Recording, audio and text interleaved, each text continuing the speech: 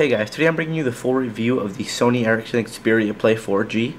This is a 4G device which runs off of AT&T's HSPA Plus network and it is available now for $49.99 with a new 2-year contract.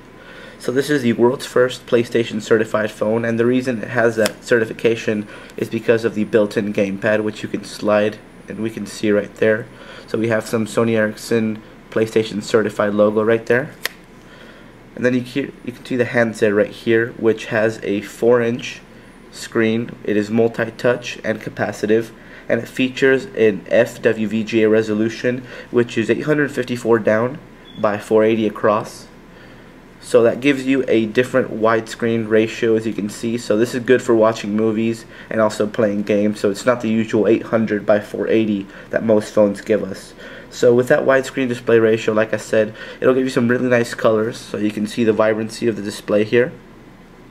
And it has 16 million colors on it so it should be able to produce some nice and juicy colors and the downside on this display is that it does not include the mobile Bravia engine that is found in the Xperia Arc and the Xperia Ray. So while the pixel density is high, the colors are sharp and the viewing angles are good as you can see.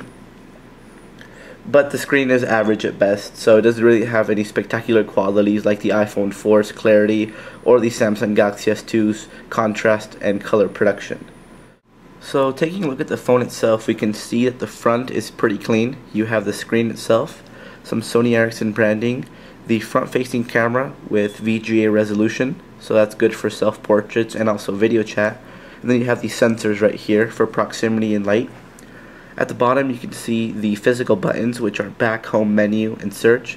Now I'm not a big fan of these buttons because I'm a big fan of capacitive buttons since they are so easy to press you can lightly tap them whereas these you really got to push them hard to get some responsiveness out of them. At the same time these are not backlit so the issue is if you are in a dark setting you probably won't be able to see them very well. Now on the side here you can see the volume rocker. It is placed pretty awkwardly because you have these shoulder left and right buttons here but it's still pretty easy to press and it gives a nice clicky responsiveness. Towards the back you can see the AT&T branding and Sony Ericsson as well and this is the Cobalt Blue model which is exclusive to AT&T here in the USA. Now the back is glossy so it does tend to pick up fingerprints and a couple scratches as you can see. And you can see the 5 megapixel camera with a single LED flash. This has built-in autofocus and the secondary microphone. Right up here you have the power button which is pretty easy to press if you can find it because it is kind of flush with the back cover and it has a notification LED light right there which might seem a little out of place but the actual LED is kind of bright so you can't see it anywhere and finally at the bottom you have this nice sort of chrome accent with a 3.5 millimeter headphone jack and the micro USB charger. And if we slide this open you can see the gamepad with the D-pad right here the settings two capacitive joysticks which are actually very easy to use. And it has this sort of rubber inlay which helps you know if you're leaving the actual surface or not. And actually works pretty well you have the select button the start button and then the square triangle circle and X. Now this uses a hinge mechanism which is actually pretty sturdy so once you push it up about halfway then it just slides up itself. So it is sort of mechanical but it works really well and it's very smooth as you can see now in terms of specs, the phone itself features a 1 GHz Snapdragon processor with Adreno 205 graphics for increased gaming performance. So while this is not a high-end phone in terms of having a dual-core processor or real 4G, because I don't consider HSPA Plus to be real 4G, it definitely is a good contender out there, and performance-wise it does perform pretty well. Now if we take off the back cover here, you can see a couple things. You can see the 1500 milliamp hour battery, which is pretty good for this kind of device. Doesn't have a large screen and it is single core, so it will get you about a day of usage out of it, including gaming. Then if we pop this back on, you can see that we have some speaker notches here, right at the bottom here and here. So that gives you some stereo speaker. So while you are playing games or listening to music or watching a movie, you will get some pretty good sound out of this. Now let me pop this off once again. And within here, you will get an 8 gigabyte micro SD card included. But you can expand that up to 32 gigabytes. And then you have the SIM card right there. And in terms of connectivity, like I said, this runs off of AT&T's HSPA Plus so-called 4G network. And it also has 802.11b, G, and N Wi-Fi networks, as well as Bluetooth. So a phone is really worthless to you unless it can make good calls. I placed a couple of test calls just to see how it would do, and the recipients of those calls said I sounded loud and clear, so the microphones on this must be pretty good. But on the other hand, I heard the recipients with a little bit of a tinniness to them, so I'd say that call quality was average. Now in terms of reception, you can see right there, I have two bars of HSPA plus connectivity right now, and I'm about a mile, mile and a half from the actual strip of Las Vegas, where there are several AT&T towers to keep up with the high demand. So the phone itself does not have great connectivity in terms of holding a signal but it does do the job just fine. So it will be able to get one or two bars in areas that other phones will get three or four. So a little bit disappointing on that front. Now here we have the calling interface, which is actually pretty simple. You have your number pad right here. You have your call and save. You have phone, call log, contacts, and favorites. So it's actually pretty simple, and it's the way it should be to make a phone call. So in terms of 4G speeds, I want to do a quick speed test right here to show you the actual speeds I'm getting, and this is in Las Vegas. So open up the speed test right here. And as you can see, we have two bars, now three bars of H+, which is HSPA+. The app is finding the closest server. And let's let it do that, and let's begin the test. So let's move this aside, I want to show you the speeds that I'm getting on T-Mobile 3G, which we have right here. So we have 275 megs down and 169 megs up. This is on T-Mobile 3G with one bar.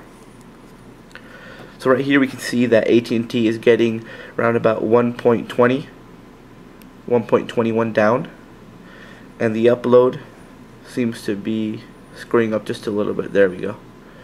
So it's under half a meg. And let's let that finish. So anyways guys, what I'm trying to say is that AT&T's HSPA Plus network really isn't performing the way it should or the way I expected it to. But these speeds are really enough for average web browsing.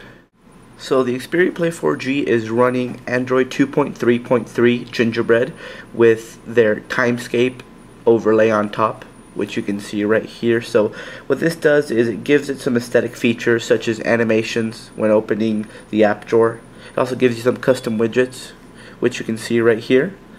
And it also really gives you a nice visual eye candy. So let me show you some of the widgets that we have right here. So you have the on and off for GPS, roaming sound, Wi-Fi, photos and videos, picture frame. You also have some PlayStation Pocket alternatives. And if you open up the app drawer, you can see some of the animations there. And you can see the way you can arrange your apps. So it's not really a huge overlay on top of the phone. You can see that the dock right here is a little bit different. It's more accessible in terms of what you can put down there. But they've done a pretty good job and the phone itself actually performs really nicely.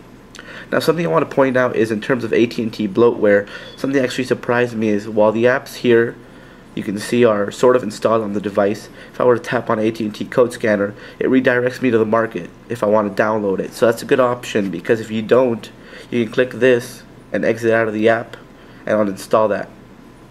So while you do have some bloatware on here, you can easily remove it if you don't want it. So I'm glad that Sony Ericsson and AT&T have gone that route. So performance on the device is actually pretty good for a 1 gigahertz processor.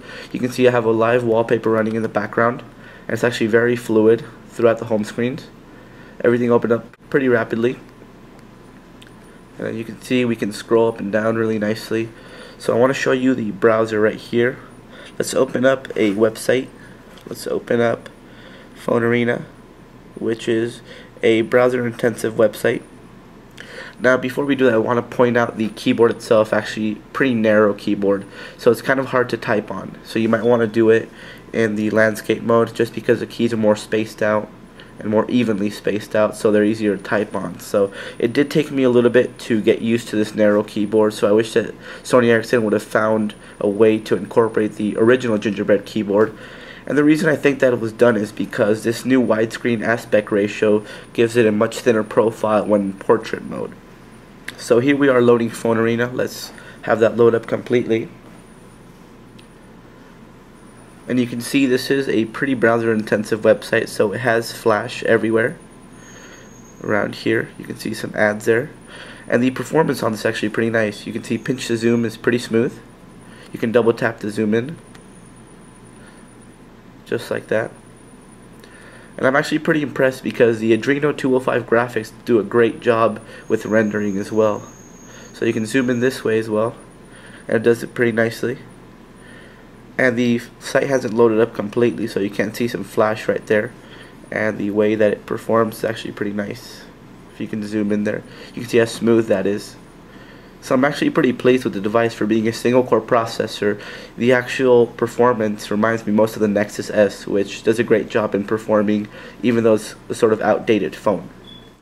So most people will be interested to see how gaming performance is on this device, seeing as this is such a gaming-centric device. So there's actually three ways you can do this. First of all, you can slide up the screen and you're prompted to the Xperia Play Launcher where you can see the games you have installed. So you have all these games right here pre-installed except for Battlefield and Minecraft. And if you click on Get Games, it also prompts you to a nice catalog with a whole list of games that you can buy, although some of these are free. And all these are made to work with the actual gamepad itself. Now if you close on out of here, you can see that we also have PlayStation Pocket app, which features some older PlayStation games, and the one that's pre-installed with the actual phone itself is Crash Bandicoot, which we have right here. So we'll hit continue, and I'll show you some quick gameplay on the device itself. So let's load this up, and you can see the graphics on there actually pretty nice. The only thing is that it doesn't use up the whole screen since this was made for the original PlayStation. You can see it's very smooth, and the actual controllers work pretty well. and overall it's actually pretty pleasing it's very easy to use and it's much better than the actual touchscreen that I'm used to on an iPhone or another Android device so it's really pleasant to have these physical controls there. So I've been using the Xperia Play for emulators and here we have SNESoid and this really shows you that the controller can be used with several emulators which really opens up the door to hundreds of games. So here we have Super Mario Bros. And these are easily be playable with the actual control pad which is really nice because setup is super simple. All you have to do is map the actual controllers here to the gamepad and you're good to go. So we'll show you a quick one right here of Super Mario Bros. 3 so I'll show a little bit of gameplay and this is what I've been doing most because it's really enjoyable to play those games from your past so as you can see it's very smooth, no lag at all. It's super playable. And most importantly the actual controller does a great job. So everything works just fine. And it is really a pleasant experience. And this is where I see the most potential in terms of gaming because really it's only limited to what the developers want to create for the actual device. So I think that's enough for that and let's close that out. So if you were to pick up this phone, not only will you get the phone and some included goodies within the pack, you'll also get this multimedia dock right here. So this is exclusive to the AT&T model. This is a glossy piano black one. It has some rubber down here to prevent from skidding across the table. And then you have the actual micro USB charging port and an audio out.